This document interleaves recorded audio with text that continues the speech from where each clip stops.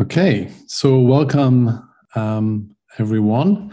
Um, so thank you for the introduction. I'm really glad to be here with you today and to speak about design transformation and the special relationship that it has with uh, design system. Uh, before I delve into the topic, I'd like to give you um, some context about the company if you don't know Thales um, and understand the journey we've been we've been in. Um, so Thales is a large multinational headquartered in Paris. Uh, we are rough, roughly 80,000 people um, and uh, for revenue of 20 billion. And as you can see on this slide, we operate in very different um, market segments from space, avionics, transportation, defense, security, and we power some of the most critical infrastructure in the world what it tells you about a company is that um, it is a company with a very strong culture for technology, innovation, engineering. There is one thing you cannot take for granted is that uh, the understanding for design. I think design is very new, um, not only in the company, but I, I, think generally in, in, in, in these markets, in this, um, in this segment. So, what my presentation is going to be about is um, two things mainly. Um, the first one is just to understand what it means to bring design and, and transform the company at scale. Um, that will be the first part. The second part is uh, the relationship it has with the design system projects that we have, and there is a link. And, and finally, and probably a lot of you wants to hear about the mistakes we did, and probably some, you know, we would try not to repeat um, in, in the future. So let's get right away um, into the topic um, and speak about design transformation. So um, if we think about Thales design and our journey, I, I like to um, think of it in, in with this three act uh, structure. Uh, for a long time, you know, until 2017, um, I think we've had some level of UX design, human factors in, in, the, in the company, but most of these activities would be uh, basically what, I, what we call undercover. So they will not be official. Designers will not be called designers. The HR systems didn't know what design is. And uh, our process um, didn't recognize the activity of, of design. Um, and still, it was happening undercover. And then that change um, around 2018 with a big plan for the company, not on design, but on digital transformation. But this digital transformation plan identified you know, some strategic work stream uh, in order to be successful. And the first work stream was about user experience design. So I was privileged enough to be um, appointed for leading uh, that transformation. And we started, as you will see, uh, to set up, you know, the framework for transforming the company. And around 20, uh, 2020, we um, started to articulate and, and speak of ourselves more as a Thales design, a design capability design organization in, in the company. Now, if um, some of you are part of big organization, you know about transformation plan, and there is a uh, a language, a transformation language that is true not only for design but for any kind of transformation. We're speaking about frameworks and KPI and performance initiatives and dashboard and reporting. And so we were caught into this big transformation framework and started to do just that. We had transformation pillars and dozens and dozens of performance initiative, change initiatives along, along the way. And we did that not only for um, design in digital, uh, but design as a whole. We, we called it the design continuum. We said if we change uh, Thales and we bring design, we need to think about design holistically design in engineering, product design, industrial design, service design, design thinking, and, and all these different uh, discipline um, associated with design.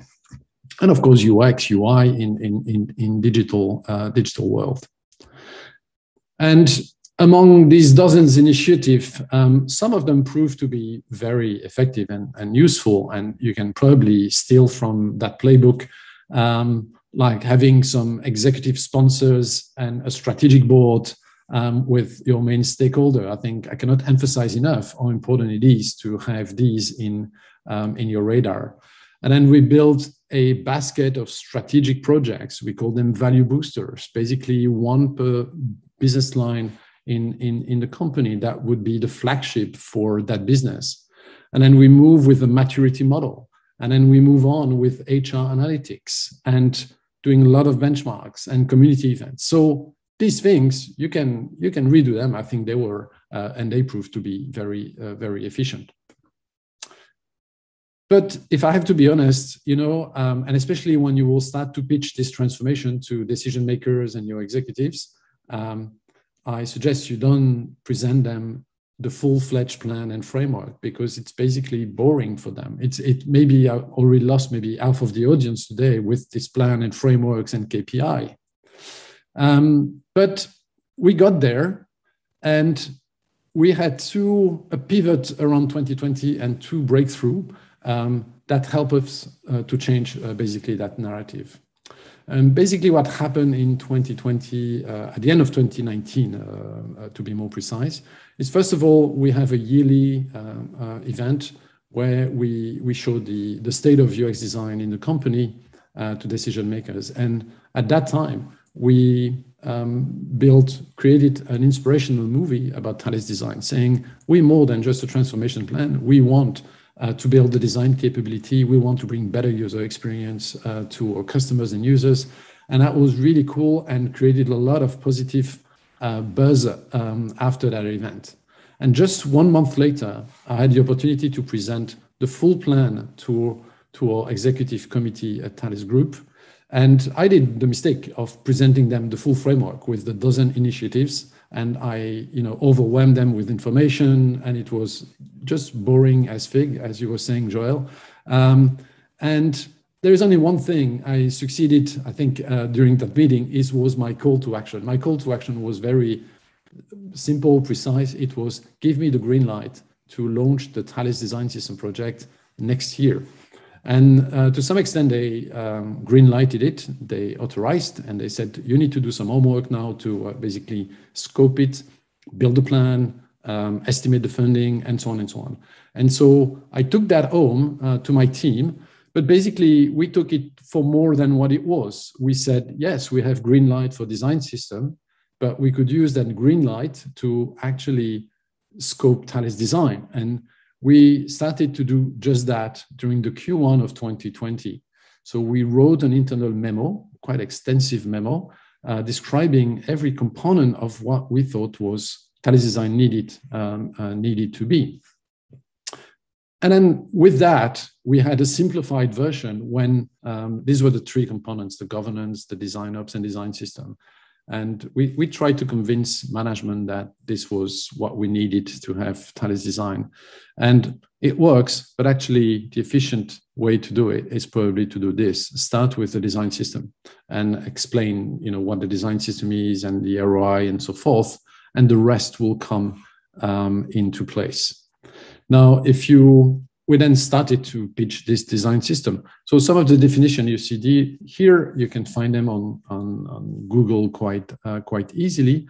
But then we showed the company that you know having a design system will help to answer these questions. What is design at your company or our company? How do we design here?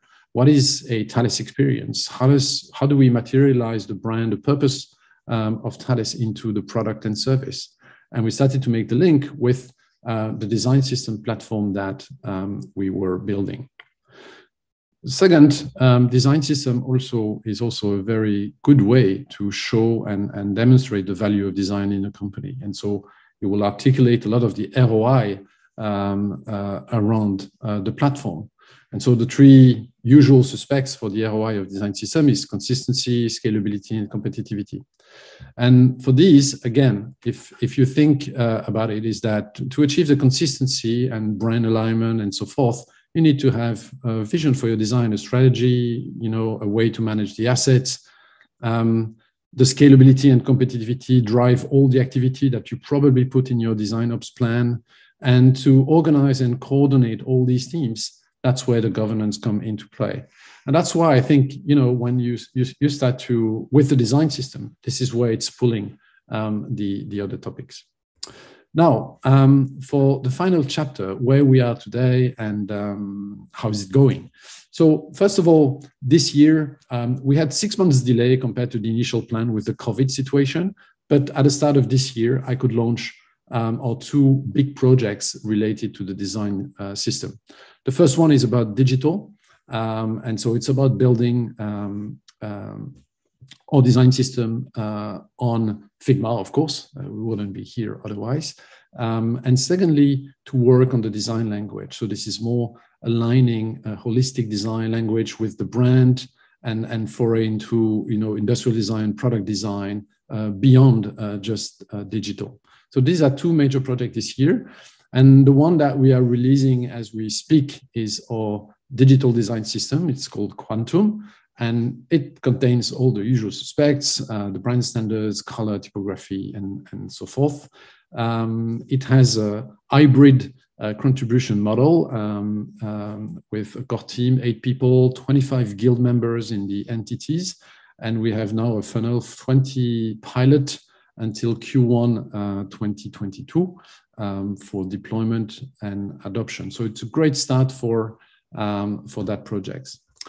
Now, my conclusion. So in a lot of the change management book you can find, they always tell you find a flagship projects, and usually they mean the business projects for your transformation. In the way Thales is organized, that doesn't really work because you could do one project in one business line and that will not transform the next one. And so when you do that, you finish with 20, 30 projects, which is not the point uh, of that recommendation. But then we found um, that design system actually is, is, is quite a nice uh, fit as this flagship project. It's visible, it's tangible, it's measurable, and, and you, you can very quickly um, show the value on the platform. And I think it's all about communicating the value of design to get you know more resource and more attention in the company. So that concludes my uh, presentation. Um, I'm happy to take questions um, online, offline, so uh, depending remaining time. Thank you.